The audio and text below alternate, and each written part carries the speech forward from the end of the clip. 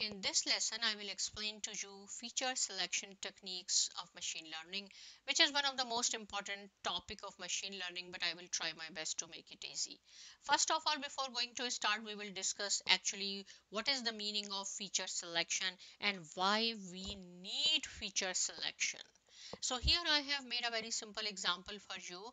I have five different attributes, employee ID, company, mileage, model and selling price. So you can see from here that selling price depends on model, mileage, company and employee ID. So we can say simply here that selling price is our target attribute or the dependent variable while others are called the independent variable features or attributes.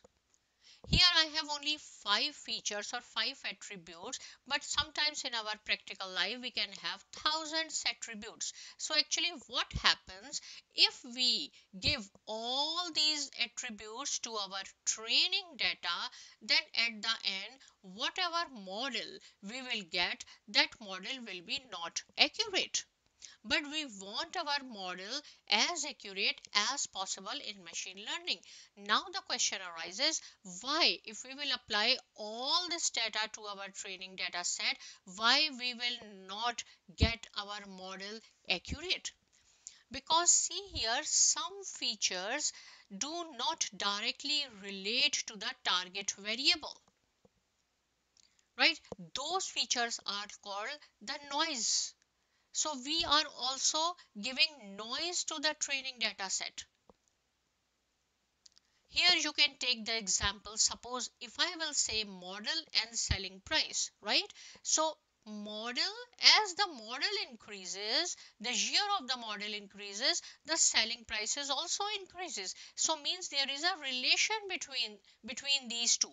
So we have to select those features which are directly relate to our target attribute. For that purpose in order to get in order to get those features we can have different methods. First method is called the filter methods wrapper method embedded method. So in filter methods, we will learn information gain method, chi-square and correlation coefficient. These methods we will we had already discussed in our statistics very well but quickly I will explain to you that in filter method we can apply or we will see the correlation between the feature independent variable or the target variable say same example if i will take these two and if suppose here you can see easily that as the model of the vehicle increases the selling price increases but we can have thousand records in our practical life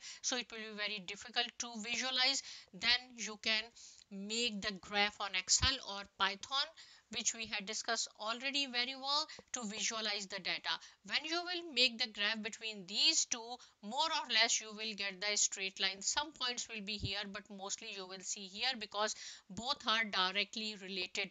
And if you will calculate the correlation between these two variables, maybe the correlation is 0.90 because the correlation ranges between 0 to 1.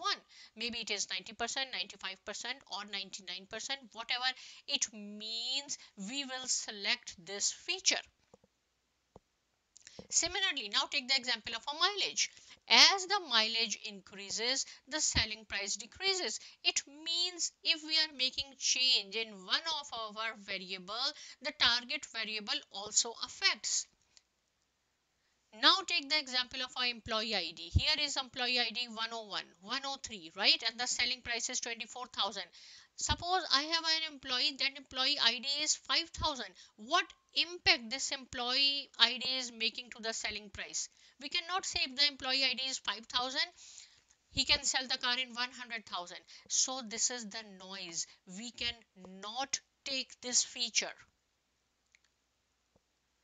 Right? So here one by one we have to compare our feature with the target attribute or the dependent variable and we will find out the relationship if the relationship exists if the correlation is high then we can pick that feature otherwise that is called the noise we cannot. And after that whatever features are remaining if we will give that features to our training set our model will be accurate. And this is our objective. This is our purpose to make our object to make our model as accurate as possible. The second method is called the wrapper methods. In wrapper methods we can we can have re, recursive feature elimination or genetic algorithm. Now what happens here right what these methods do. Here I can take employee ID. First of all, suppose if I will find out employee ID plus selling price. I can pick one this and one this attribute and these two attributes I can give to my training set at the end we will receive some model right all this data is called the set but if I will pick this feature and this, this feature, this is called the subset. Now I am going to pick suppose employee ID and company, right? Employee ID and company, these two features. Then I can add the selling price, which is the target attribute. Now I am giving these three features to our training data set. Again, I will get one model, right? Third time, I say employee ID company and mileage. Employee id this will remains the same company and mileage. When i will uh, add also the selling price which is the target attribute give this to our training data set. Again we will get some some kind of model right? So next time maybe employee id and model and mileage. So you can make the different subset of all these features add with the target attribute give to the training set every time we will receive some model. At the end right at the end we will check the accuracy or the score of each model. Suppose suppose this model the second one has the high accuracy high efficiency or high score so we will pick these features but here you can see we have only five features, but how many subsets we can make? In normal life, when we have thousand features, definitely it will take so much time and it will be expensive. That is why we do not recommend to use the wrapper method. And in wrapper method, again, the overfitting concept applies also here and also here what is the meaning of overfitting we had discussed in our previous lesson as well that system tries to consider each and every attribute. The straight the line will be not like this. The line will be like this. Right so this method is expensive and time consuming. Then we will move to the embedded method. Embedded method we have decision tree and in decision tree we have discussed very well in our python lesson as well. Quickly i will explain here again. But this is the recommended method. Here this is less expenses and we do not have too much overfitting. Still we have overfitting but not too much compared to wrapper method right? Suppose in decision tree here i will offer if i will say i will offer 100k salary to an employee. If he accepts the job yes or no? If I say no then this node will does not matter.